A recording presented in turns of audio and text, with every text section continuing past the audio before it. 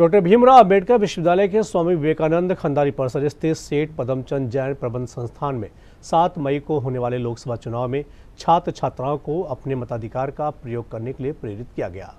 Doctor Bhimrao Ambedkar विश्वविद्यालय के स्वामी विवेकानंद खंडारी परिसर स्थित सेठ पदमचंद जैन प्रबंधक संस्था ने 7 मई 2024 को होने वाले लोकसभा चुनाव में छात्र छात्राओं को अपने मताधिकार का प्रयोग करने के लिए प्रेरित किया। इस अवसर पर सभी से वोट डालने की अपील की गई तथा शपथ दिलाई गई। इस शपथ के कार्यक्रम में सेठ पदमचंद संस्थान के निदेशक प्रोफेसर ब्रजेश रावत ने सभी ऐसी अपने मताधिकार का प्रयोग करने का अनुरोध किया। इस अवसर पर बोलते हुए डॉक्टर स्वाति माथुर ने कहा कि वोट डालना सभी का कर्तव्य है, जिसका पालन करना चाहिए। ये देश के लोकतंत्र को सशक्त करने का पर्व है। इस अवसर पर सभी उपस्थित शिक्षकों, doctor Ruchika Prasad, doctor Shweta Chaudhary, doctor Seema Singh, doctor Jagriti Asija, Lalit कला संस्थान के शिक्षक दीपक कुलश्रेष्ठ ने स्वयं व परिजनों के मतदान करने की अपील की तथा लोकतंत्र को मज़बूत करने का आह्वान किया।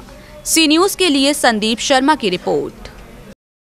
आगरा के सर्वाधिक लोकप्रिय चैनल सी न्यूज़ के यूट्यूब चैनल को सब्सक्राइब करें और हाँ बेल आइकन को प्रेस करना ना भूलें।